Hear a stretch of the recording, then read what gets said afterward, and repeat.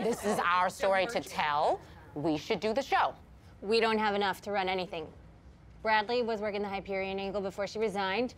Our whistleblower went AWOL. Literally no one will go on their record. Stella's right. Trash talking Paul Marks is not even going to make Twitter. Who cares about Paul Marks? The 20,000 employees at UBA deserve to know what's at stake in this board vote. If the lights are going out, we need to talk about what that means for them, for us. Yeah, we need something loud, though. The right guest. Someone who has nothing to lose.